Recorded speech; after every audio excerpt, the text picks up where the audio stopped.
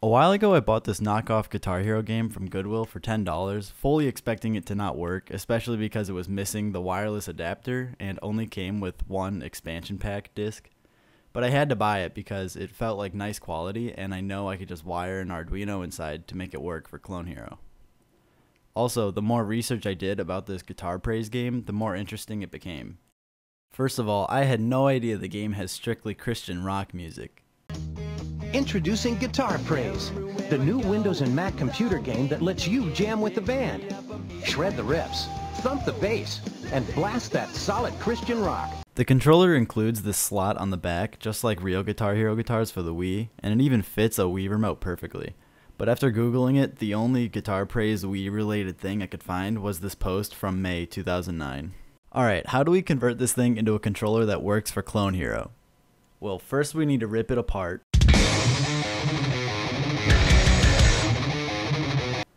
Just like in real Guitar Hero guitars, there are six wires going to the five fret buttons because one of the wires is ground and the controller knows a button is pressed when it is connected to the ground wire.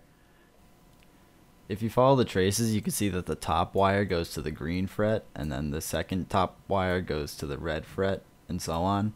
But the only one that's important is the ground wire because inside of Clone Hero, you can adjust any button to being whatever fret. So we can cut the six wires for the fret buttons, the three wires for the start and select buttons, and the three wires for the whammy bar. Since the switches for the strum bar are mounted directly to the circuit board, we will just solder our wires to the contacts here. Now we wire the buttons to the Arduino Pro Micro like this. If you wanted to use a USB encoder like this one or this one, it would work, except for the whammy bar, because it is an analog control instead of a digital button press. This Instructables post exists where Lima Straker was able to modify the USB encoder to work with potentiometers, but it looks hard and I don't want to have to buy any more USB encoders, so Arduino it is.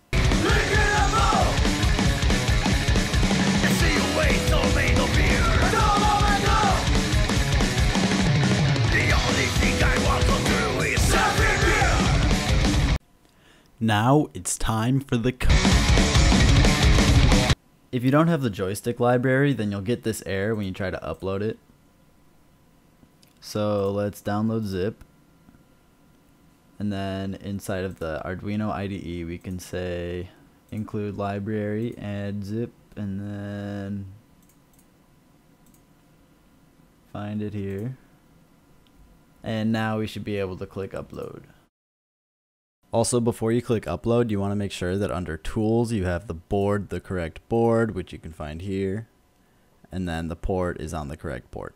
Now to test that it's working, we can go here. And then find Arduino Leonardo and click properties.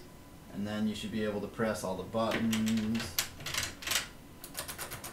and see things lighting up as well as the whammy bar. Now it's time for everyone's favorite part where I explain the code. Okay, so these numbers here, the 1 through 9, correspond with the numbers here on the Arduino. So if you had mapped a button to this 0 pin, then in the code you would need to write, you know, 0 instead of a 1 or whatever. Also, you can see that all of these are false except for this one true, which is for the whammy bar. And if we go down here to this line, we can see that the range is set from 0 to 850. And this number is going to be different depending on whatever guitar you're building it on because it's a different potentiometer and it's just built differently. And the way I chose this number is because of this line, which is printing out the numbers of the potentiometer.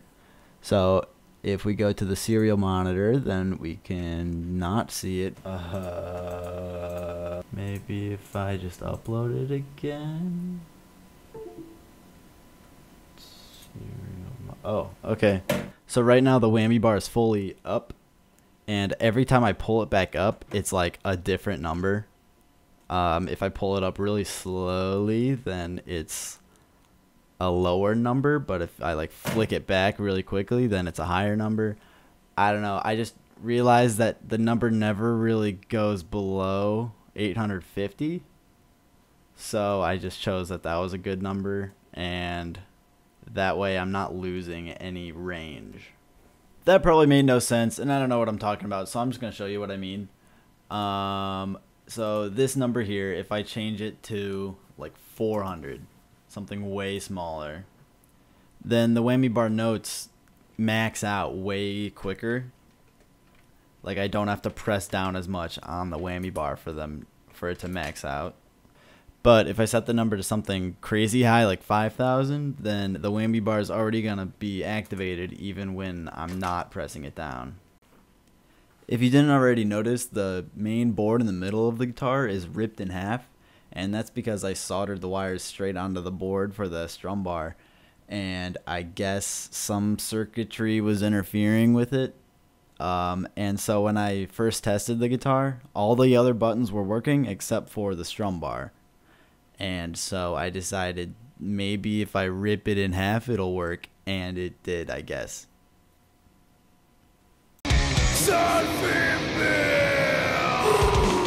Three designs for Clone Hero guitars are available for download right now. I am using printables now because Thingiverse has been buggy for me recently.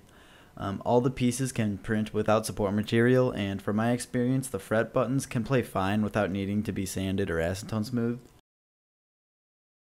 Also, I designed a PCB that is optional to use, but available for people like me that are really sick and tired of lots of tiny soldering.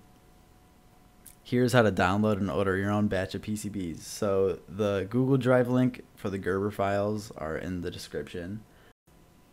When you download it, just keep it as a .rar file and then upload it to the website. I chose JLC PCB to order mine, but uh, maybe there's better ones, I don't know the price for five boards came out to be only five dollars, but depending on whichever shipping you choose, it could vary a lot in price. Okay, bye, thanks.